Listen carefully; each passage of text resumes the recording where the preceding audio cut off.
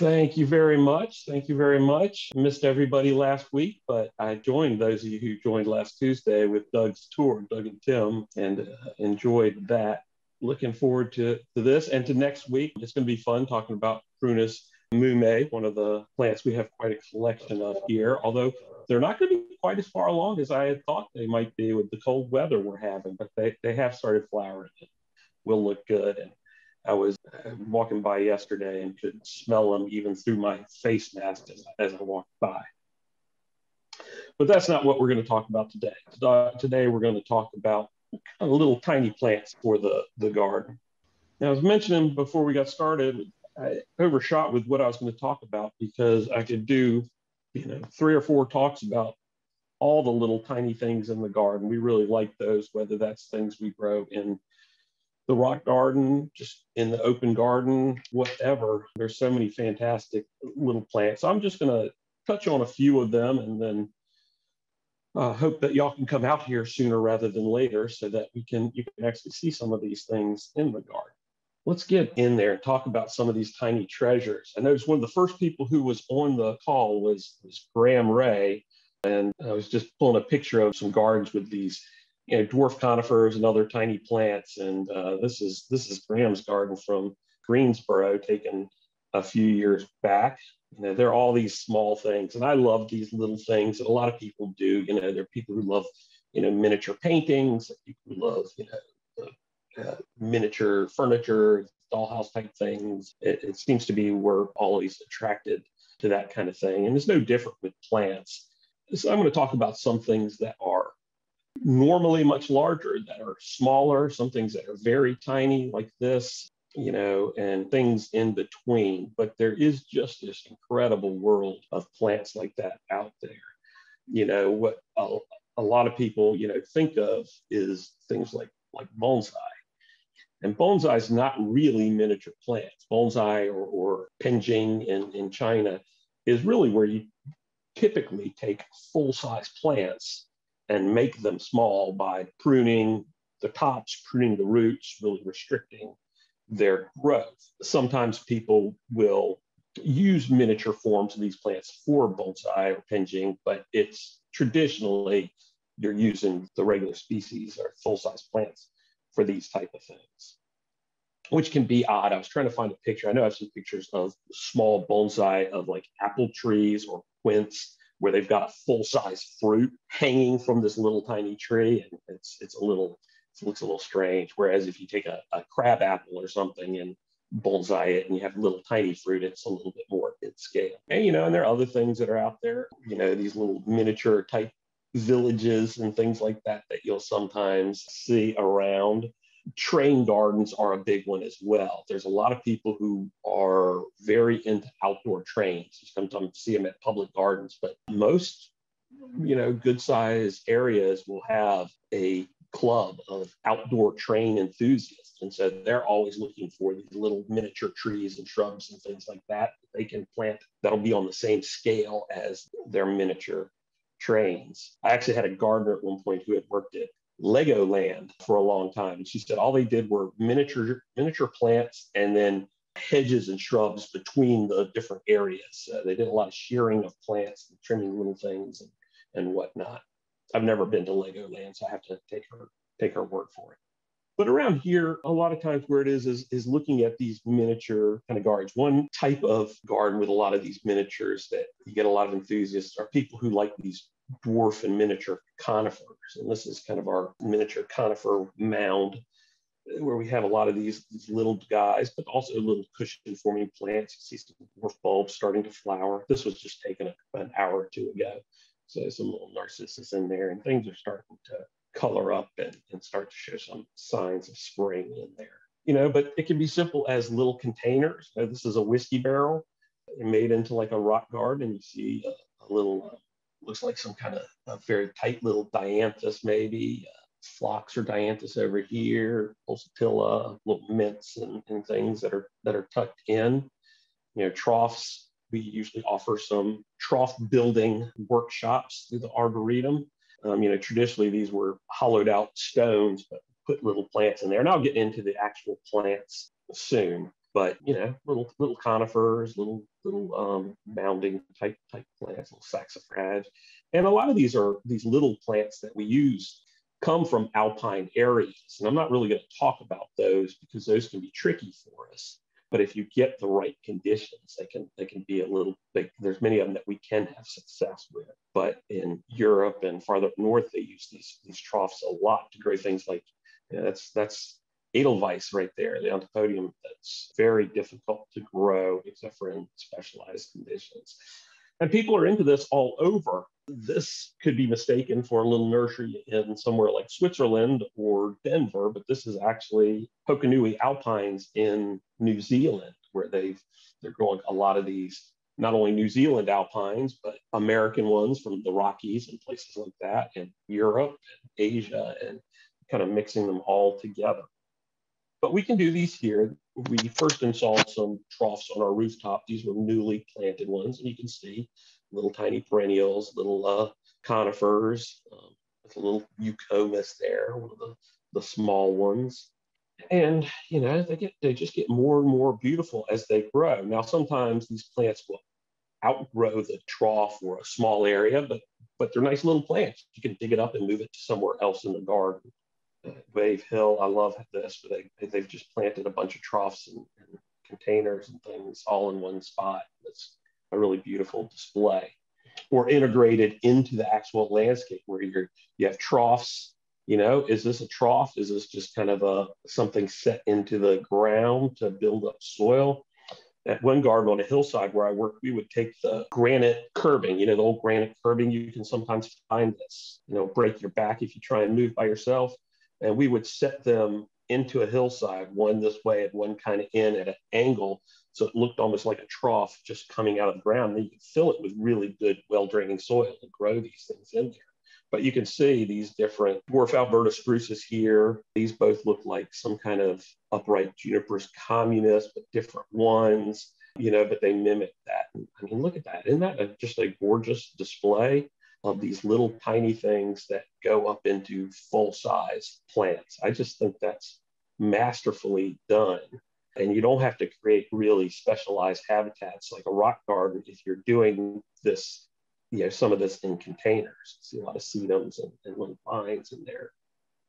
And you know, the nice thing about when you do grow them this way is, you know, people always want to touch these little guys and, and pet them, these little cushions and mounds. Um, people want to want to reach out and and pet those and poke them. But it doesn't have to be, you know, kind of creating a whole little landscape. It could be, you know, as simple as a little plant in a little pot. That's if you have a big garden, sometimes these miniature things can get lost unless you do something like this to, to keep them up uh, where they're viewable. And I do this. I always, you know, those of you who listen to a lot of my talks hear me say how I don't use containers. I do have a few containers, but I tend to do woody plants in my containers and I'll grow them for a few years. So this is a little dwarf linden, a little leaf linden, Tilia cordata, that I grow just right by my front stoop. It's a little dwarf uh, linden. In 20 years, it'll grow to be maybe 12, 15 feet tall and half as wide with a nice little gumdrop head in another year or two, I'll take it out of this pot and plant it somewhere in my garden. But for right now, I like it there. It's perfect little tree. Now we'll get bigger. One that's similar is one called just called dwarf weeper. And that's that's the only name we have on it. And for a long time, I thought they were the same plant, but they're not. Hana kagane has actually a really big flower, really big linden flower, comparatively speaking. That's very fragrant. And dwarf weepers is very small, but this you can see, this is an old plant. We dug it and moved out, moved it out of the last house back in 2012. It just kept going. It's probably 15 or 18 feet now. It's not really a weeper, but it kind of comes up and arches over a little very stiffly, but beautiful all year round. You can see this is this is late in the, the season, but I love it even during the winter. Real pretty plant. And some things are dwarfed naturally. This is Armenian oak, Quercus pontica. And at a, fully mature plant is maybe 15 to 20 feet tall, but it's got these very stout stems and big buds on there. During the summer, it's kind of neat because it has full size oak leaves on this little plant. but I actually like it even more during the winter when you can really see those stout branches. This is a plant that's been in the ground here at the Arboretum for quite a few years. And, you know, it's still this small little guy. It's still kind of a, a little bit unusual because there's, there's, it's easy to identify as an oak when it's, when it's small, but when it's in leaf, but it's kind of makes people scratch their heads why it's so small. And it shouldn't be surprising. Um, there are actually a lot of small shrubby oaks. They tend to be oaks that grow in very dry conditions. You know, the West Coast has quite a few dwarf oaks. Kind of our, our coastal plain has a lot of these little dwarf oaks that a lot of times people think are just wind stunted live oaks, but there are actually some different species that you get through there that are shrubby rather than tree like. But I like this one because it looks like a little tree. I mean, this would be perfect in a little miniature garden because the trunk is really nice and stout. The stems are nice and stout. And so it doesn't look wispy like a little dwarf tree uh, sometimes does if you have it by uh, know, a Lego building or uh, a train track or something like that. It would look like an old, old English oak or something. There are several dwarf flowering dogwoods. Pygmaea is, is just a really old form of a dwarf white flowered form of our native flowering dogwood. In 10 years, this is, this is maybe eight feet tall and wide. There are other ones. There's Swanee Squat, which is tends to be shrubbier. There are some little more upright ones like Little Princess and some pink flowered ones as well. But you know, you get all the things you get out of a full size one including fall color and flowers and, and fruit. Now, the thing with some of these dwarf trees, though, is if you're looking at space in a small garden, when you first put this in, it's kind of upright and very contained. But if it gets wide, like these do, it actually takes up more garden space than a full size specimen that is you can limb up and is overhead because this is, you know, four or five feet high is going to be right there kind of at the middle at its widest point. So something to be aware of sometimes with these plants that get a little bit larger. You know, the Japanese maples, there are quite a few of them. I didn't put a whole bunch in there, kind of the, the classic dwarf one. If you were going to go to a Japanese maple person and say, you know, dwarf Japanese maples, probably the first one they would come up with is Mikawa Yatsubusa. And, and you can look for Yatsubusa in the name. That often implies a dwarf Japanese maple. This is one called Koto Ito, Ito Komachi, which every time I've tried to look this up, I'm told that it translates to harp strings. You see these narrow lobes on the, the foliage, but it does not translate to, to harp springs, harp, harp springs, as far as I can tell, really. I think that's just an American name that's often put with this.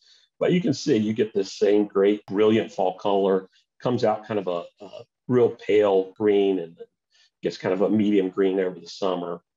Every once in a while, you'll get kind of more typical Japanese maple leaves. If a whole branch starts doing that, you want to prune those out, but it isn't unusual to get a lot of different kind of uh, sizes of the lobes on the leaves. If you really want fine, look for, oh, like fairy hair?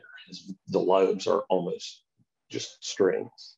just neat things. But this is only, this only gets, you know, six or eight feet tall over the course of a decade or, or, or more. Other species do the same thing. And I mentioned that Yatsubusa, that always kind of implies that it's going to be a dwarf. This is a trident maple, Acer buergerianum Mino Yatsubusa. Starts off life kind of as a shrubby plant, but if you if you keep it to a single trunk, it can form this delicate little tree. This has kind of narrow lobes compared to the typical trident maple, but there are some other dwarf ones as well. Again, gets really nice fall color, and the bark gets kind of corky and ridged. Shows the age, which is is very cool, I think. Uh, and it isn't restricted to those Asian maples. This is the vine maple, Acer circinatum, native to the West Coast. This one, Little Gem, was found, I believe, in Vancouver at the at Stanley Park, the great public park in Vancouver, as a as a witch's broom, as a congested growth in a, a tree there. And you can see it makes just this little mound, great fall color. This picture with the fall color was taken on the West Coast. It never gets quite that good for us, but where Acer circinatum often struggles here on the East Coast. Little gem actually grows very, very well. This is something I've noticed on quite a few plants that don't always do well here. When you get their dwarf forms, they do better. Many of the conifers, and I'll mention some conifers, that the full size plant just doesn't really tolerate conditions here. The dwarf forms are often better growers for, us. And you know, there's different theories as to why, but I don't know that there's any proof for any of those theories. Now, this looks like a little dwarf conifer or something, but this is actually an elm. And Ulmus parvifolia, there are several of these dwarf elms, Jacqueline Hillier, Seiyu, a few of them, but the smallest one is one called Hokkaido.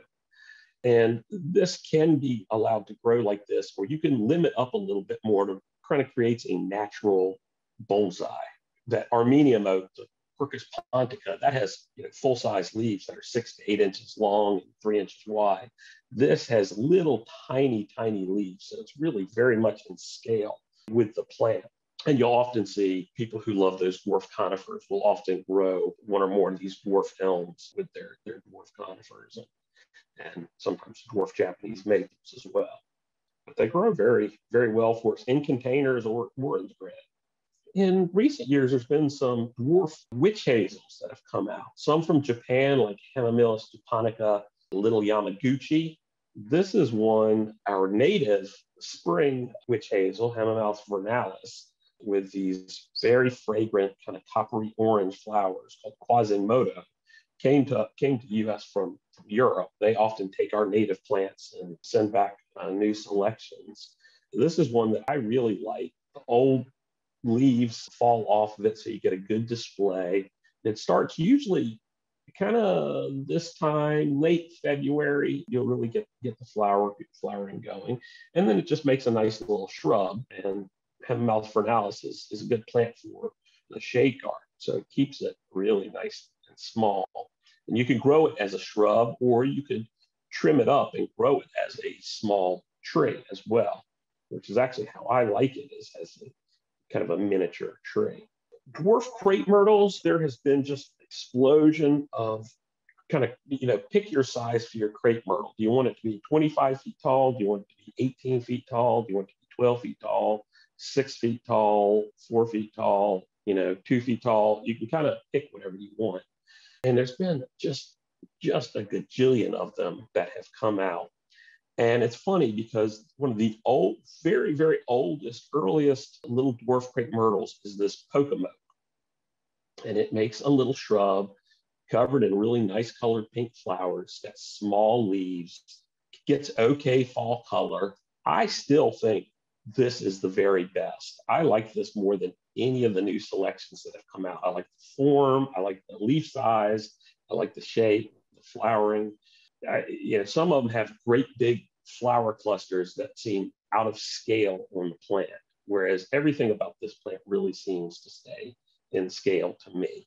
Now that's you know purely personal opinion, but I do really like Pocomoke quite a bit. And you know, other shrubs get even smaller. This is Itea, another of our natives, Shirley's compact. And this, I have grown, had a plant of this for, I don't have it now, but I've grown it for easily a decade. And at a decade, it was maybe 24 inches across and 12, 15 inches tall.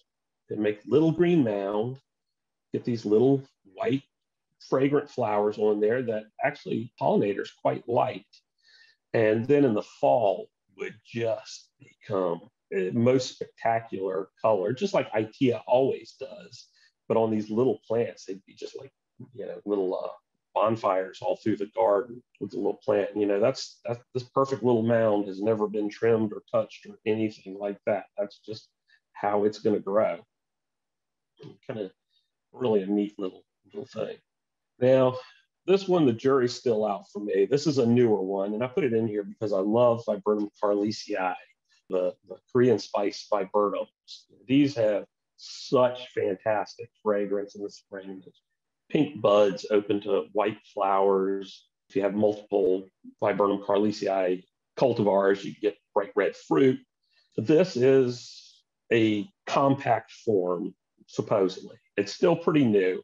And a lot of times the sizes on these plants, I don't think are accurate rec- reflections of what they actually do. This is supposed to grow four to five feet tall or wide, which Viburnum carlesii can become a, a quite big, eight to 10 foot or more shrub. So we will see, but they've been fairly vigorous growers, so maybe not quite so small. Certainly not, probably not tiny, uh, as we were talking about, but you know, maybe maybe smaller. Conifers. Now, if you like tiny plants, conifers are the way to go. They are there are so many of these little guys. This is our native white pine. I always love the the big twisted needled one, contorta. We've, we've got a, a big one by our, our visitor center here at the, the Raulston Arboretum. This is a dwarf one. I'm thinking in a, a 10 years, it's going to get six to eight feet tall, probably. So not a tiny, tiny one. I believe there's an even smaller one. For all y'all who name plants, there is no, why do we have to replace C's with K's? Tiny curls with a C is just fine. You don't have to do K. That just looks ridiculous.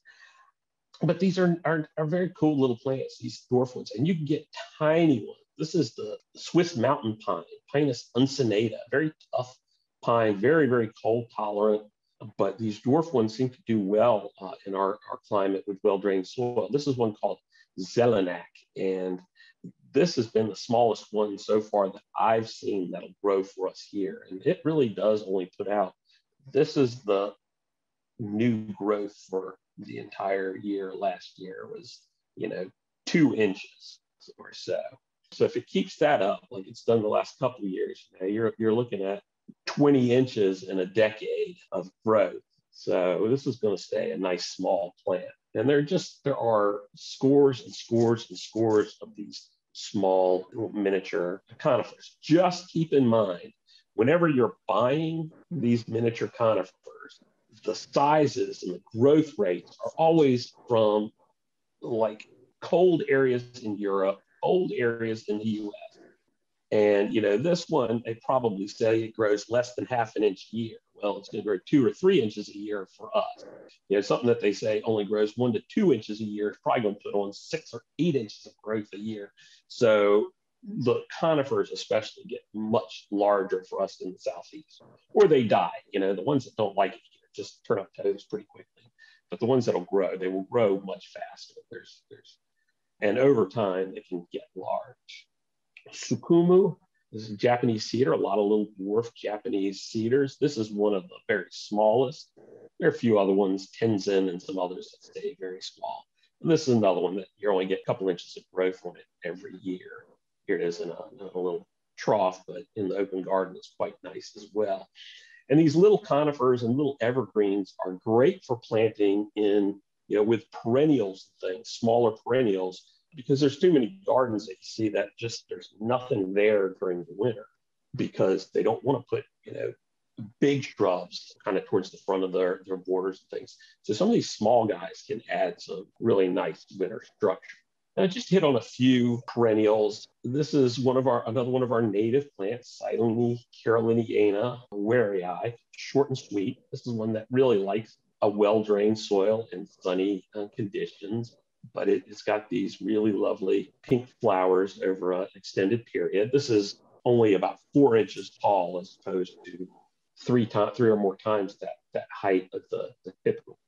Some of the creeping phlox can get quite big in terms of spread, but there are some that are that stay really nice and tight and compact. This is one I love, Amla, been around for a long time. Early spring, beautiful foliage.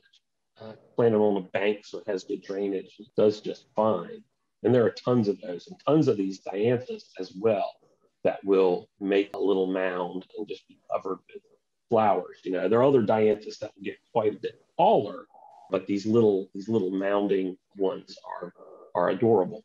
Now these are this is an alpine plant. It wants perfect drainage. So you see it's growing in stone here as a crevice plant, so it doesn't rot out over our summer in the humidity. That's what humidity does for it. And if you were to plant something like this, just in ordinary garden soil, there's just so much moisture that sits in the soil that it, it doesn't like that. So if you're going to plant it in the garden, make sure it's well draining. And then even if it's just under that mound, put down some rock chips under there to keep it from kind of splashing dirt and things splashing up the foliage. And it'll be much, much happier. But you know, I'm showing these things from like alpine areas, but it's not just alpines. You know, you can have woodland perennials that do this as well. Disporopsis, the evergreen Solomon seal, one of my favorite woodland plants. This is one, Jinfu shanensis, from Jinfu Shan in China, that mountain. And this only grows about three inches tall, makes this mat of evergreen, glossy, glossy foliage. You see a little flower there. This is really past flowering, but the flowers kind of hang down under the leaves. So with other Disporopsis that are taller, you can see those flowers. These guys, you kind of got to get on your, your hands and knees to look at flowers, but it's just this gorgeous woodland mat. And woodland rockeries can be really beautiful with these, you know, plants like this have dwarf Japanese pieris, other woodland plants in these kind of gardens for small plants or containers. A lot of these woodland plants are used to root competition from woodland areas. So um, they can tolerate drying out for a period often. So you can do them in containers in shady areas and they do quite well. And this is, you know, you could do this and it wouldn't miss a beat during the winter in a container. It would just stay evergreen for you. And then you might actually be able to see the flowers if it was, you know, a little bit higher from the ground. And I'm not going to talk, I just mentioned that there are a lot of cacti. People use those, and I don't grow cacti. That is not my thing. And so I'm not going to go deep in them, but there is a couple of them. This is a Mexican one from kind of Nuevo Leon area that grows outside, little pink flowers, little cute thing.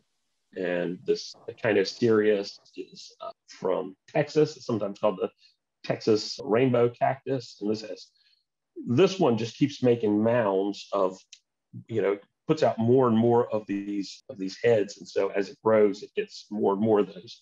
This Echinocereus will kind of grow up in a column to about 12 or 14 inches tall and maybe four inches wide, and then have big orange or yellow flowers on it typically.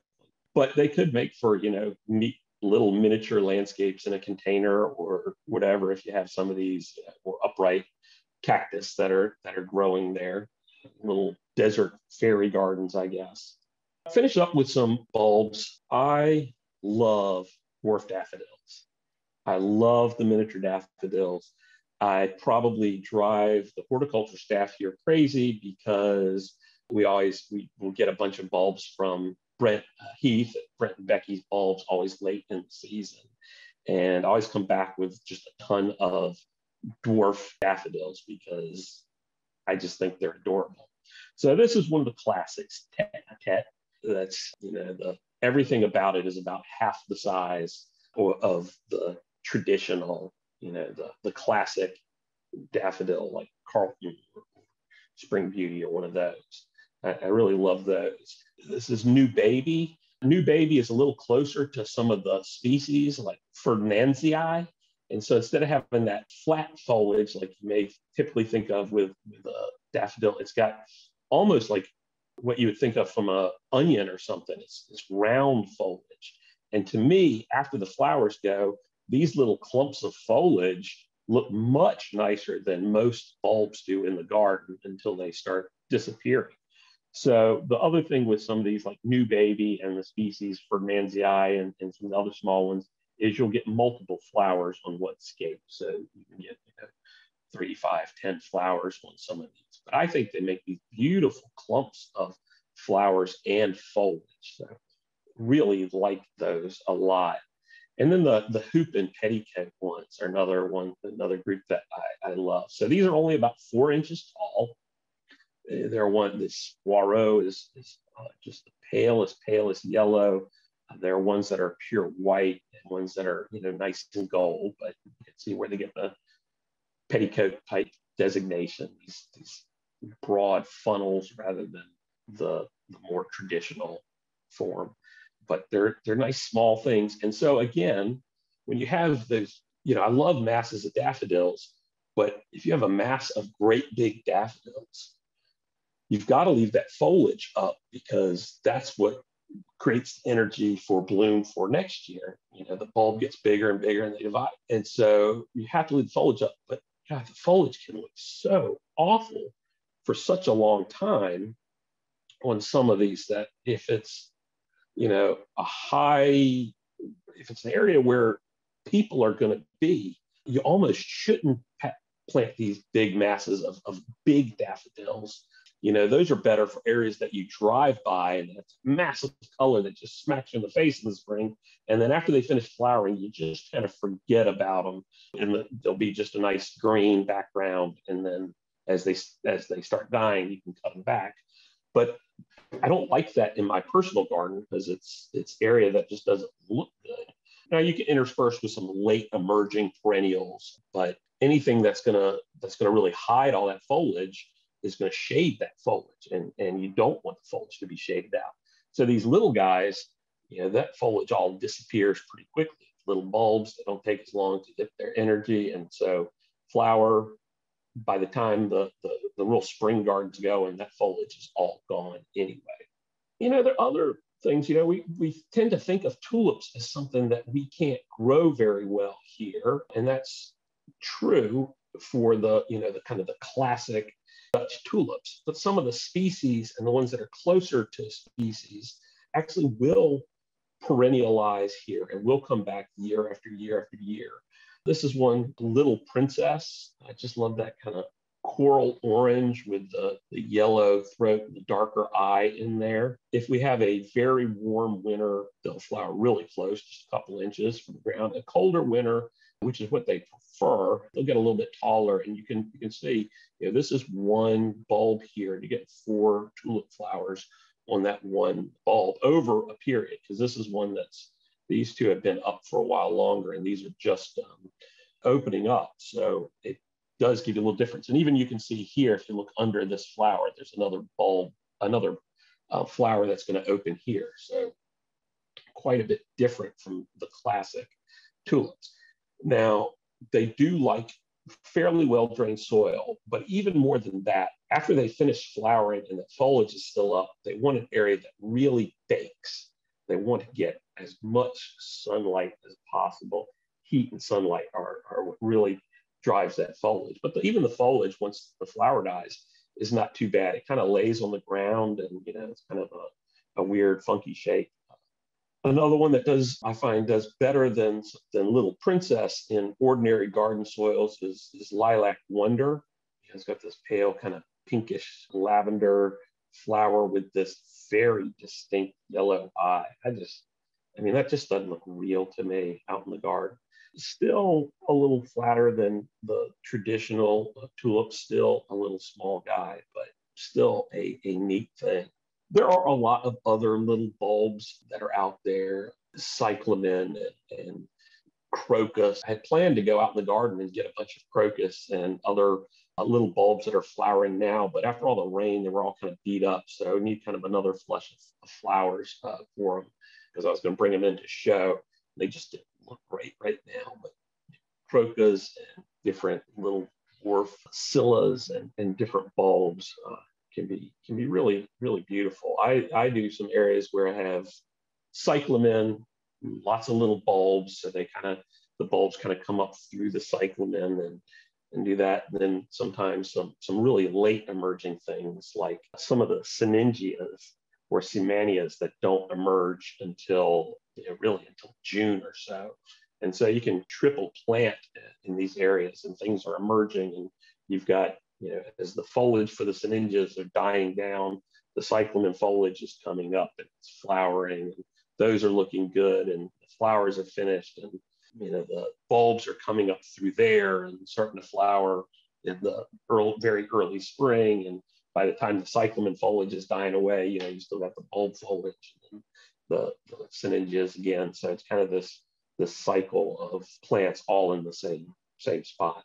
So I'm happy to answer questions. Want to mention again the Winter Symposium. Really hope to see you there. It's only $25 for members. And if you can't join us between 9 and 12 Eastern Time on February 20th. Registrants will get a link to the to see the talks. They will be recorded and won't be out and available for non-registrant. Do hope you'll think about that. Hope you'll consider uh, joining if you're not a member.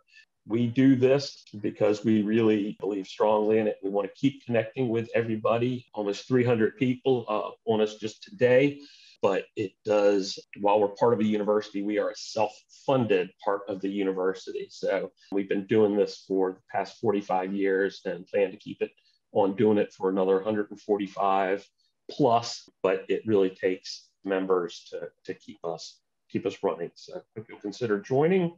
And whether you join us as a member or not, we also hope that you'll interact with us through all of our various social media and our website. Go visit our YouTube. We've got millions of, not millions, we've got dozens and dozens, maybe hundreds of videos up already, but also by checking out our links and following us on Facebook and Twitter and Instagram, you'll find out a lot about what our upcoming programs are and a lot of great information and a lot of really beautiful pictures on there as well. So let me see if I can answer some questions. Well, there were some questions in the chat, and I'll get to them in just a moment. But I wanted to congratulate you for breaking the all-time record for midweek with Mark, which also includes midweek with Bryce. We had upwards of 296 people at one time, so that was awesome. Okay, I, I had the first question highlighted, and now I lost it. They were looking for some advice on growing cyclamen.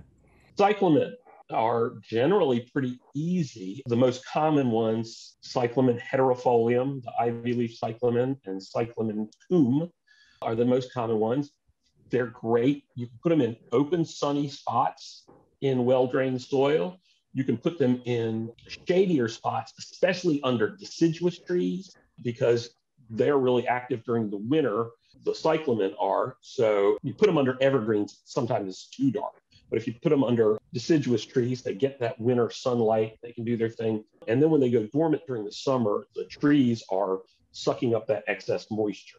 Where you have problems with them generally is if you're putting them in a really, really fertile, really nice, moist soil that stays nice and moist all summer long, or is heavy and retains moisture when it gets wet during the summer when they're dormant. You want them to be dry. So it's either a you know, plant them on a slope, plant them under or around plants that will suck up the excess moisture during the summer, or plant them in somewhere where it's very, very well drained. Great. And someone anonymous asked, what are the light requirements for the tulips? Uh, full sun. They want lots of sun. Yeah, they, they do not want shade. Thank you for asking that. And ah. Brett was asking, what about snowdrops?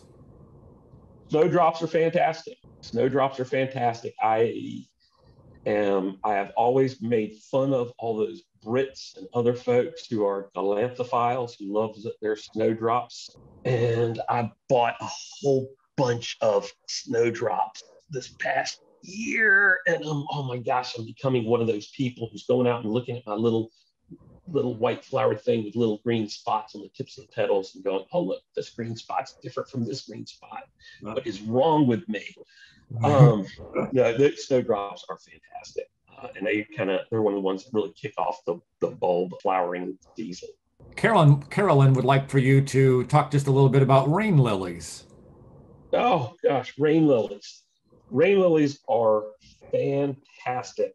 And there are so many different so there's Zephyranthes. We have a native Zephyranthes, Zephyranthes atamasco, the atamasco lily. But the other rain lilies are mostly small bulbs, flowered during the summer, everything from white to pale yellow to pink and oranges, corals, and I mean the color palette for the rain lilies is is crazy this time, you know, nowadays.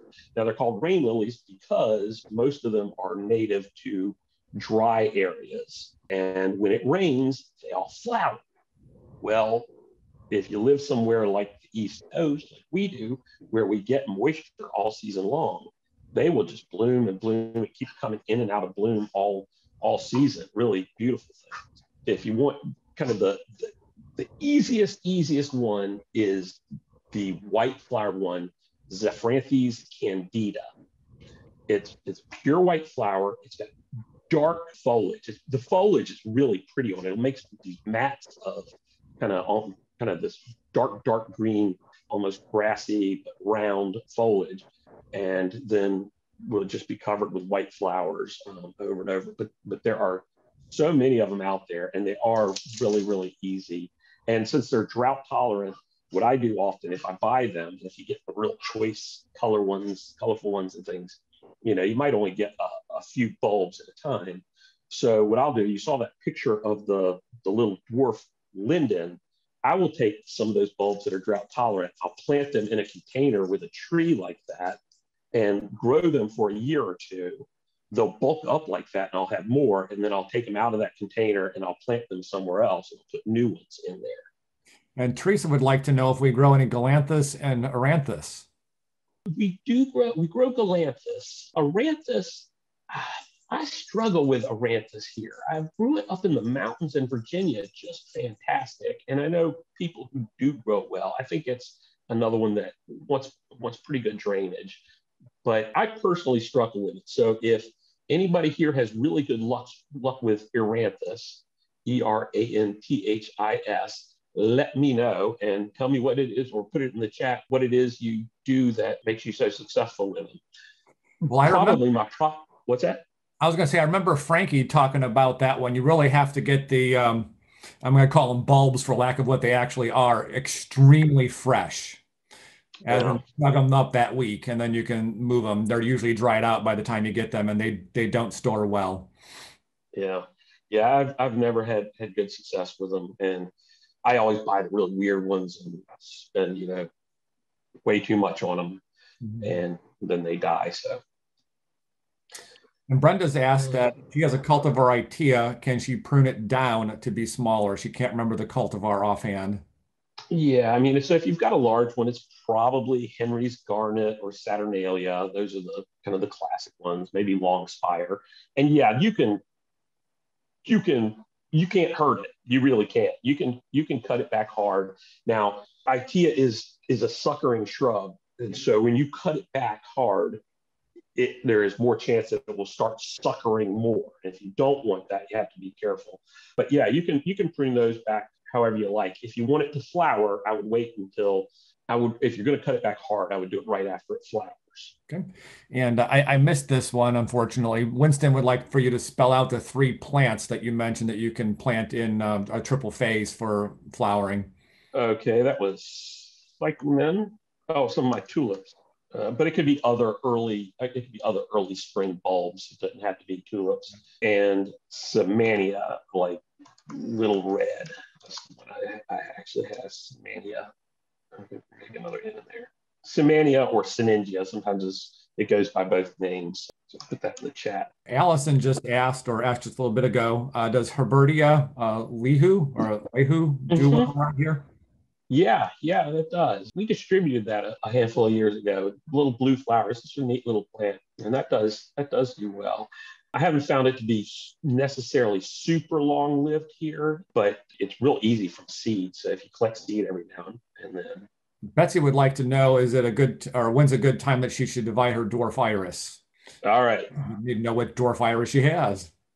All right, now, if there are any people in the Iris Society on here, they can cover their ears because everybody I've ever met in the Iris Society tells me, you know, you divide them in the fall or very early spring before they flower and then they don't flower for you. But the next year they'll be amazing. I don't know why. I divide my iris theoretically when I get to it on time. I divide my iris immediately after they finish blooming. And then they flower for me again next year. I don't know a reasoning for for waiting on that, but no, I just do it right after they flower. You can do it anytime. It's not really going to hurt them. It just you lose you lose the flowering if you do it at different at different times. But I'll say I'll also say this iris. I dug and divided a whole bucket of it a couple of weeks ago, and because that's when I got to it. Uh, so you know, it's it's uh, we, we, you know, make hay while the sun shines, I guess. And Marilyn just asked what is needed to get Galanthus to do well. She hasn't been able to get them to thrive. They generally are pretty easy, I find. They want some they want some sunshine when they're they're up and going. So deciduous shade or sun is is best. No, most bulbs don't want to be wet, so they don't love a really heavy soil. Sometimes, if you've had bulbs and they've been doing well and they've stopped doing well, it may be because it's gotten too shady where you planted it, or the bulbs there's too much competition. But bulbs are storage organs, so if you had some and they've kind of dwindled away, you can often, if you dig around where they are, you can often find those bulbs. And if you move them out somewhere and divide them, they do great that way. I did see somebody mention grape hyacinths. Grape hyacinths are fantastic. The, the muscari are fantastic because the foliage comes up in the fall. And so, what you should do if you're planting a lot of bulbs and you're one of those people who forgets where you planted bulbs—they're out of sight, out of mind, every time you buy bulbs, get a bunch of, of grape hyacinths as well and just plant some grape hyacinths wherever you planted your bulbs because the foliage will come up for the, the grape hyacinths and you'll remember remember that you have you have other bulbs planted in that same spot. And that's all the um, questions that I saw, Mark, unless I missed one earlier or unless someone has a brand new one. I'm happy to answer more. Somebody, I'm just zipping through this. Somebody mentioned Tulipa clusiana. That is the single best tulip for perennializing in the southeast. Tulipa clusiana, they will get better and better and better uh, every year, as opposed to most other tulips, which dwindle away for us. Mm-hmm. Uh, I'd love to see some people who this is their first Zoom. Ha- hope you, you continue to join us. I don't know what else. You know, consider joining us. Definitely consider following us. Come back for us next Wednesday at three. We're going to have a really fun talk. and be me and, and Dennis Carey, our database coordinator, talking about Prunus mume. And the Wednesday after that, definitely mark your calendars. It's how to prune hydrangeas, that question that everybody asks every year. So we're gonna we're gonna teach you how to do that and answer all your questions. Oh, I'm glad to hear somebody joined because they joined us for gardening in the South. That was a great program, wasn't it? YouTube has a just a ton of information. Our YouTube channel, subscribe to the YouTube channel, uh, go back and look at our past offerings. There is really a wealth of information there. And uh, oh, look, I wrote out I wrote out cyclamen tulips and Seemannia and then didn't hit enter on there. So, sorry about that. Uh, Missouri, who's in Missouri? I bet they have that black loam that you can stick your arm in up to your shoulder. Like, do I know when the ARB will reopen? I, am hoping soon. We've gone three days nationally with less than 100,000 cases. North Carolina's in good good shape. Students didn't haven't caused outbreaks here, so we are we are hoping that it will not be long before we are open again. We we hope to be open for spring for sure. Coconut strain, heart strain. Ah, yeah, I get the Komachi as as the, like town beauty. That's where I could get I'm a Komachi fan, poet famed for her beauty. Very cool. Very cool. Yeah, the, so Marilyn, I just posted it. It was uh, cyclamen, any kind of spring tool, spring bulb, but tulips are a good one. And then Seemannia Little Red. And this time I'll hit enter.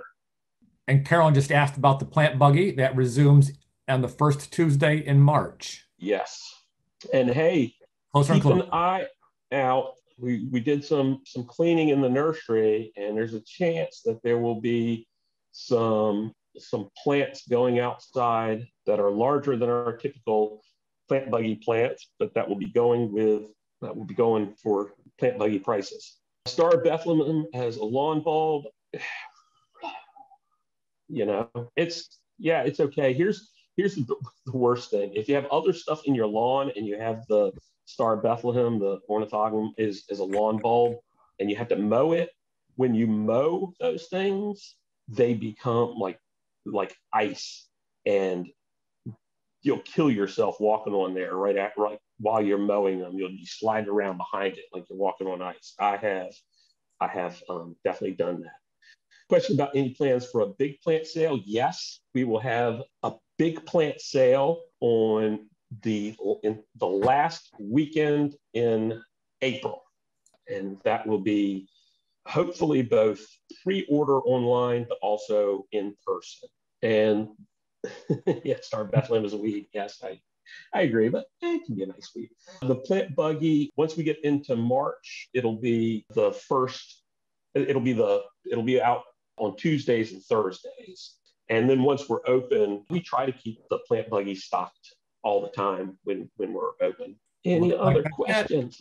All right. Well, thank you, everybody. It was great seeing you all, virtually or not. A lot of familiar faces and names on here, which I love to see. A lot of new plate faces and names too. Well, Paul just asked about the summer symposium, Mark. Oh yeah, the summer symposium. You know that's going to be that's going to be a tough. We're going to make a decision on how we will have it. We'll make a decision on how we go forward at the end of the month, at the end of this month, and it will happen. Whether it's online or we shoot for in person will be the question.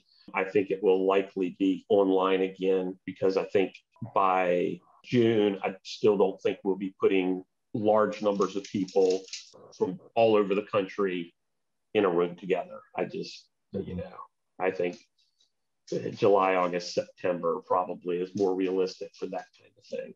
Um, the plant sale, the is plant sale for only for members? It's a good question. Typically, our, you know, when we're have our plant sale on site and we're open, it's open to everybody, but members get have a preview evening. And we always try and give our members first access. So uh, with it online, uh, what we usually do and what I think we would do with this is we will open up the plant sale for our members first. And sometimes things sell out before the other folks can can be there. You know, membership has its privileges, but we will open it up for to everybody after that. So I encourage you to become a member if you really want plants. Say no matter what, it pays to be a member, right? Yes, yes, that's right. And lots of squirrels and some rabbits. Can you grow anything? Yes, you can grow lots of stuff. Some of it they don't eat. We've got a great program coming up when, Chris? That's about and, and month. I forget the date. I'm pulling it up right now end of the month. Wait, I'm going to tell you right now. Oh, no, I'm not. It's on um, but we have February 27th, keeping the animals out. Okay. Uh, that's a, that's when you do need to register for, I believe. Yes, and that one's with Bree Arthur. It's uh, 10 o'clock in the morning. Will do. Thank so, you. yeah, make sure you register for that one. Yeah, groundhogs. My brother has those. Yeah, I planted a ton of, of bulbs this spring, and man, the squirrels, God, they got them. They got them bad. They got them bad. Moles, voles too. Yeah. Sounds like your puppy is saying that it's time for the lecture to be over. Yeah, the puppy is. Let's let's let's let's get him on video. Hold on, let me get my, rid of my background so you can see him. Oh, precious. There you go. That's Gus right there. He's so cute. Yes. Oh, I love the ears and the eyebrows. yes, yes, yes. And he what has. Kind, what kind of dog? He is a Bernedoodle, so half Bernese mountain dog, half toy poodle. So he is about 40 pounds, fully grown. So that's the strangest combination I've ever heard. Yeah, don't think too hard about it. we no. we uh but but yes, he's a he's a sweet puppy. He's beautiful. How big will he get? Hmm? This is it. He's, yeah, this is it. Forty pounds or so is the biggest he'll get. So he is fully grown. Hmm. Nah, not bad at all. He's mm-hmm. good. He's, cool. He's kind of the baby of the family. The the two we got two old ladies in the in the house, and they're not so sure much about about this one year old here. Not giving them a new my, my wife, yeah, my wife's been out of town somewhere for about the past month, so this the dog's been a little bit. This is her dog. He's he's uh, been a little ah. out of sorts. So, and my daughter's working from home, so I brought him in today so she wouldn't have to deal with him whining. He's beautiful. Oh wow, the number one most popular breed right now. That is crazy. Oh, let me show you these. These are the rain lilies I got. Oh yeah. For five bucks at, you know, I think it was Home Depot. Yeah. 15 bulbs. That's pretty I good. I wasn't sure what to expect. Yeah, you know, those packaged bulbs are a mixed lot. Sometimes you get really good stuff. Sometimes it, you get them and nothing comes up at all. The ones that, that kill me, sometimes you see Eranthis, which they won't come up if you get those from Home Depot. And uh, also some of the anemone blandas, those can be really tough uh, as well. Sometimes you can salvage those if you soak them for about 24 hours before you plant them. But, you think I should try that on this? No, I wouldn't do that with the rain lilies. Okay. Yeah. Okay. The, the more they can dry out, the worse they do. Yeah. Okay. All right. Uh, Good. Thank you. Excellent. Enjoyed it. Thank, thank y'all. Thank y'all for coming. Thank you, Mark. Thanks, everyone. And we'll see you. Week at three for the Prunus Mume talk.